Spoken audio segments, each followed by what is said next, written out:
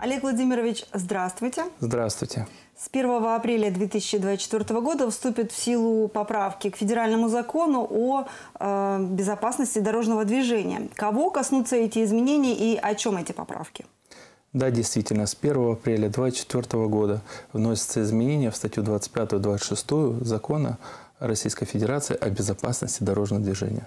В соответствии с относимыми изменениями иностранные национальные и международные водительские удостоверения признаются недействительными для управления транспортным средством на территории Российской Федерации по истечении одного года со дня вступления в силу указанного федерального закона. Повторюсь, он вступает в законную силу с 1 апреля 2024 года. Вместе с тем, важно знать, что выдача российских национальных водительских удостоверений взамен иностранных национальных водительских удостоверений в течение одного года, а именно с 1 апреля 2024 года по 1 апреля 2025 года, будет осуществляться льготно, то есть без сдачи каких-либо экзаменов. По истечению указанного срока водительские удостоверения указанные будут меняться только после сдачи квалифицированных экзаменов с 2014 года у многих крымчан э, остались и продолжают действовать у некоторых э, водительские удостоверения международного образца. То есть мы сейчас говорим о них. То есть э, для того, чтобы эти документы поменять, экзамены сдавать не нужно. Или нужно их сдать э, до 2025 года?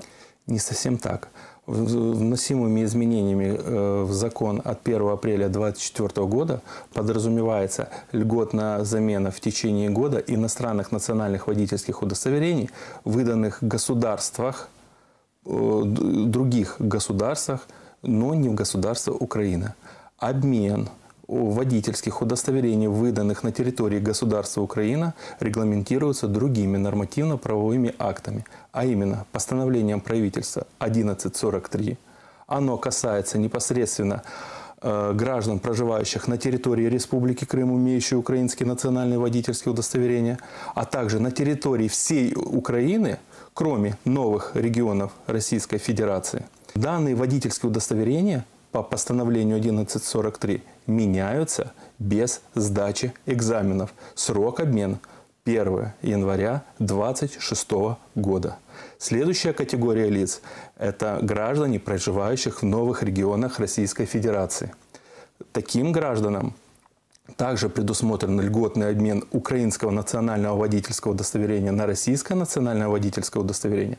Срок обмена такого удостоверения также 1 января 2026 года. Что нужно крымчанам, которые не успели поменять или, допустим, э, не успеют поменять э, свои международного образца э, водительские удостоверения? Какие документы им нужно предоставить, куда обращаться для того, чтобы их заменить?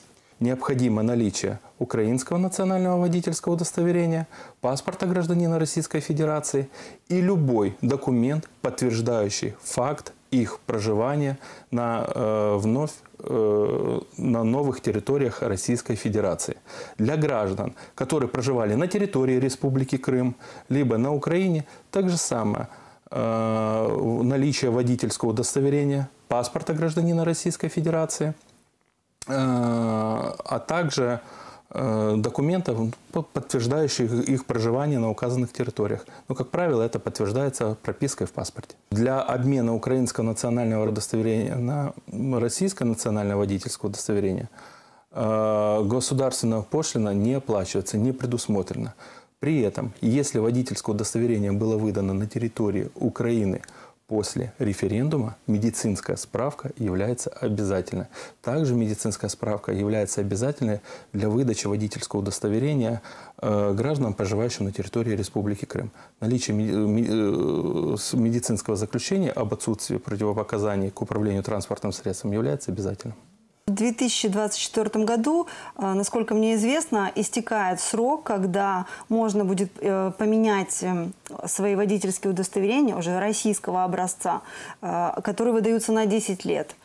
В этом году как раз истекает этот срок. Необходимо отметить, что срок действия водительских удостоверений, которых истекает с 1 января 2022 года по 31 декабря 2025 года правительством Российской Федерации увеличен на 3 года. Вносить какие-либо корректировки или изменения в водительское удостоверение не требуется. Сколько времени занимает процедура замены водительского удостоверения? В соответствии с действующим законодательством у нас есть один час для обмена либо выдачи нового водительского удостоверения. Как правило, мы э, вкладываемся в 30-40 минут. Спасибо вам большое за беседу. Всего доброго. Спасибо вам большое. До свидания.